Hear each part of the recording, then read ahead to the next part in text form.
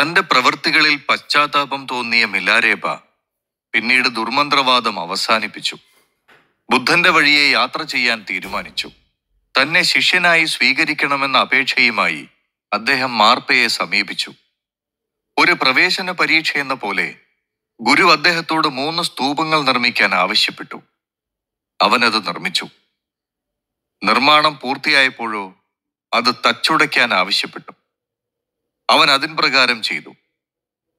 തകർത്തു കഴിഞ്ഞപ്പോഴാകട്ടെ മറ്റൊന്നുകൂടി നിർമ്മിക്കാൻ ആവശ്യപ്പെട്ടു. അവനാകട്ടെ മറുത്തൊന്നും പറയാതെ മറ്റൊരു സ്തൂപം പണിതുയർത്തി. പതിനൊന്നാം നൂറ്റാണ്ടിൽ ഇദ്ദേഹം പണിതതെന്ന് കരുതുന്ന ഒൻപത് നിലകളോട് കൂടിയ ഒരു സ്തൂപം ഇന്നും ടിബറ്റിൽ കാണാം. എന്നാൽ ഇത്രയൊക്കെ ചെയ്തിട്ടും മാർപ്പ ഇദ്ദേഹത്തെ ശിഷ്യനായി സ്വീകരിച്ചില്ല. അതിനാൽ അദ്ദേഹത്തിന് വളരെ ദുഃഖം തോന്നി. മിലനോസ് ബാദ്ഗയോട് സഹതാപം തോന്നിയ മാർപ്പയുടെ പത്നി മാർപ്പ എഴുതുന്നത് പോലൊരു എഴുത്തെഴുതി അവരെ ഏൽപ്പിച്ചു. നോഗ്ഡൻ ചുഡോർ ലാമ എന്ന ഗുരുവിനെ കൊണ്ട് ശിഷ്യത്വം നൽകാനുള്ള ശുപാർശയായിരുന്നു അത്. മാർപ്പയുടെ ശുപാർശക്കത്തുമായി പോയാൽ ആ ഗുരുകുലത്തിൽ പ്രവേശനം ലഭിക്കാതിരിക്കുമോ? മാർപ്പയുടെ കീർത്തി അത്രത്തോളമുണ്ടല്ലോ. അവിടെ പ്രവേശനം ലഭിക്കുക തന്നെ ചെയ്തു. അങ്ങനെ അഭ്യസനം തുടങ്ങി. പക്ഷെ എത്രയൊക്കെ പരിശ്രമിച്ചിട്ടും അവന് ധ്യാനത്തിൽ ശ്രദ്ധ കേന്ദ്രീകരിക്കാൻ കഴിയാറില്ല. അതിന്റെ കാരണം തിരക്കിയ ഗുരുവിനോട് അവൻ അവന്റെ ജീവിതത്തിൽ ഉണ്ടായതെല്ലാം തുറന്നു പറഞ്ഞു. പ്രത്യേകിച്ച് അവിടെ പ്രവേശനം കിട്ടാൻ കാട്ടിയ കൃത്രിമത്തെക്കുറിച്ച് അടക്കം എല്ലാം. എല്ലാം കേട്ട ഗോഗ്ഡൻ ചുഡോർ ലാമ അവനെ മാർപ്പയുടെ അടുക്കിലേക്ക് തന്നെ പറഞ്ഞയച്ചു. ഇത്തവണ അവനെ മാർപ്പ ശിഷ്യനായി സ്വീകരിക്കുക തന്നെ ചെയ്തു. ഒരു വ്യാഴവട്ടക്കാലത്തോളം നീണ്ട നിരന്തരമായ ധ്യാനത്തിലൂടെ ബോധോദയത്തിലെത്തിയ മിലനോസ് ബാദ്ഗ അങ്ങനെ മിലരേപ്പയായി താന്ത്രിക ബൗദ്ധത്തിന്റെ ആചാര്യനായി കണക്കാക്കുന്നതും മിലാരേപ്പയെയാണ് സ്വയം ചിട്ടപ്പെടുത്തിയ ഗാനങ്ങളിലൂടെ അദ്ദേഹം ബൗദ്ധാശയങ്ങൾ പ്രചരിപ്പിക്കുന്നതിന് തുടക്കം കുറിച്ചു. അതിനാൽ തന്നെ മിലേരേബയ്ക്ക് ഗാനഗുരു എന്നൊരു വിശേഷണം ടിബറ്റൻ രേഖകളിൽ കാണാം. സ്വതന്ത്രമായി അന്തരീക്ഷത്തിലൂടെ സഞ്ചരിക്കാനുള്ള ഒരു സവിശേഷ സിദ്ധി അദ്ദേഹത്തിന് ഉണ്ടായിരുന്നതായി വിശ്വസിക്കുന്നു. ആ വിശ്വാസങ്ങളിൽ ഊന്നിക്കൂടിയാണ് അദ്ദേഹം കൈലാസം കയറിയതായുള്ള കഥകൾ പ്രചരിക്കപ്പെടുന്നത്. വർഷം ആയിരത്തി തൊണ്ണൂറ്റി മൂന്നിലാണ് മിലാരേബ കൈലാസം കയറുന്നത്. അതിന് പിന്നിൽ പ്രചരിക്കുന്ന മറ്റൊരു കഥ കൂടിയുണ്ട്. ടിബറ്റിൽ അന്നേ പ്രചാരത്തിൽ ഉണ്ടായിരുന്ന തികച്ചും പ്രാദേശികമായ ഒരു മതമാണ് ബോൺ. ബോൺ മതക്കാർക്കും കൈലാസം ദൈവീകമായ ഒരു പർവതമാണ്. അവരും അതിനെ ആരാധിച്ചിരുന്നു. ബോൺ വിശ്വാസപ്രകാരം ഒൻപത് നിലകളോട് കൂടിയ സ്വസ്തിക പർവതമാണ് കൈലാസം. സ്വസ്തിക ആ പൗരാണിക മതസമൂഹത്തിന്റെ ചിഹ്നമായിരുന്നു. അവിടെ ദക്ഷിണഭാഗത്തു നിന്ന് നോക്കുമ്പോൾ കൈലാസത്തിന് സ്വസ്തികയുടെ രൂപസാദൃശ്യം കാണാമത്രേ. ബോൺ വിശ്വാസ പ്രമാണ പ്രകാരം അവരുടെ മുന്നൂറ്റി അറുപത് ദൈവങ്ങളുടെ വാസസ്ഥലം കൂടിയാണ് കൈലാസം. ദൈവങ്ങൾ വസിക്കുന്നിടം എത്രത്തോളം ആരാധനാ പ്രാധാന്യമുള്ള ഇടമാണെന്ന് എടുത്തു പറയേണ്ടതില്ലല്ലോ.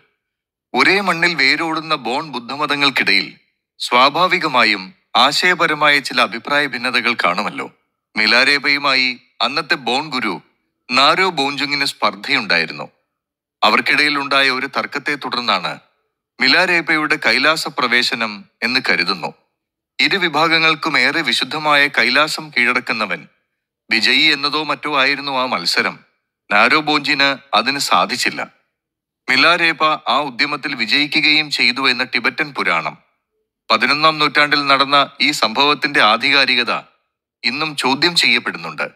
കൈലാസം കയറി വന്ന മിലേരേപ മേലിൽ ആരും തന്നെ കൈലാസം കയറാൻ ശ്രമിക്കരുത് എന്ന് താക്കീത് നൽകിയത്രേ. അതൊരു ദൈവഭൂമിയാണെന്നും ദൈവങ്ങളുടെ സ്വസ്ഥതയ്ക്ക് ഭംഗം വരുത്തരുതെന്നും മിലേരേപ പറഞ്ഞു. ആ കഥ സത്യമെങ്കിൽ കൈലാസം ഇന്നോളം കയറി മടങ്ങിയ ഒരേ ഒരാൾ മിലേരേപയാണ് ഹിന്ദുവിനും ബൗദ്ധർക്കും ബൗൺ മതക്കാർക്കും എന്ന പോലെ പ്രാചീന മതമായ ജൈനമതത്തിനും പ്രധാനമായ ഒന്നാണ് കൈലാസം. ലോകത്ത് വൈവിധ്യമാർന്ന വിശ്വാസി സമൂഹങ്ങളുടെ വിശ്വാസങ്ങളുടെ എല്ലാം ആധാരശിലയായി കൈലാസം നിലകൊള്ളുന്നു. അപ്രകാരം തന്നെ ജൈനരെ സംബന്ധിച്ച് ദിവ്യമായ കൈലാസം ആരാധനാ പ്രാധാന്യമുള്ള പുണ്യഭൂമിയാണ്.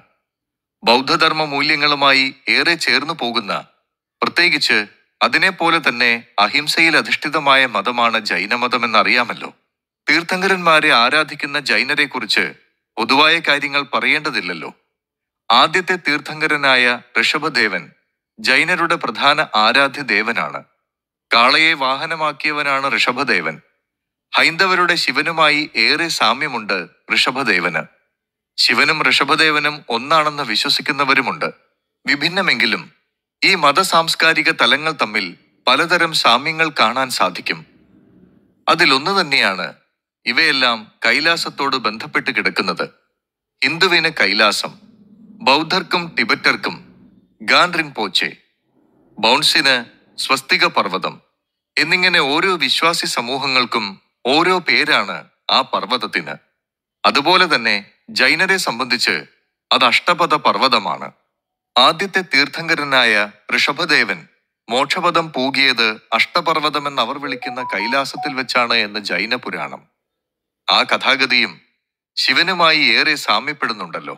ഋഷഭദേവന്റെ നിർവാണത്തോടെയാണ് അഷ്ടപത് പർവതം എന്ന കൈലാസത്തിന് ജൈനമതത്തിൽ ഇത്രയധികം സ്വാധീനം വന്നത് എന്ന് കരുതുന്നു. അഷ്ടപത് എന്ന പേരിന് പിന്നിലുമുണ്ട് ചില കാരണങ്ങൾ. അഷ്ടപത് എന്നാൽ എട്ട് പടികൾ എന്നാണ് അർത്ഥമാക്കുന്നത്. ഭീമാകാരമായ എട്ട് പർവത ചെത്തുകളാണ് ആ എട്ട് പടികൾ എന്നാണ് ഒരു വാദം. അതിനു മുകളിലൂടെ കൈലാസത്തിന്റെ നെറുകയിലെത്താമെന്നാണ് ഒരു വിശ്വാസം. അതല്ല എട്ട് പർവത ശിഖരങ്ങളുടെ വ്യാപനം അഷ്ടപതികളിൽ ഉള്ളതുകൊണ്ടാണ് ഈ പേര് വന്നതെന്ന് മറ്റൊരു വാദം. അങ്ങനെ അഷ്ടം അഥവാ എട്ടുമായി ബന്ധപ്പെട്ട ഒരുപാട് കാര്യങ്ങൾ അഷ്ടപദ പർവതത്തിൽ ദർശിക്കാൻ കഴിയുമെന്ന് ജൈനർ വാദിക്കുന്നു. കൈലാസത്തെ ആരാധിക്കുന്ന മതങ്ങളെല്ലാം തന്നെ ആ പർവതത്തെ ഒരു മഹാഗുരുവായി കണക്കാക്കുന്നതും പൊതുവായ പ്രധാനമായ ഒരു കാര്യം തന്നെയാണ്. വിശ്വാസ പ്രമാണങ്ങളുടെ കാവൽക്കാരൻ അഥവാ രക്ഷകനാണ് കൈലാസം. നിഗൂഢതയെ എക്കാലവും ഈ വിധം പൊതിഞ്ഞു പിടിച്ചുകൊണ്ടിരിക്കുന്ന മറ്റൊരിടം ഈ ഭൂമിയിൽ വേറെ ഇല്ലെന്ന് തന്നെ പറയാം. അതാണ് കൈലാസം. ഇവിടെ കൈലാസം എന്ന ആ ഒന്ന് പലതാണ്. എന്നാൽ പലതായി കരുതുന്നുണ്ടെങ്കിലും അതൊന്നു തന്നെയല്ലേ? അതെ ഒന്നാണ്.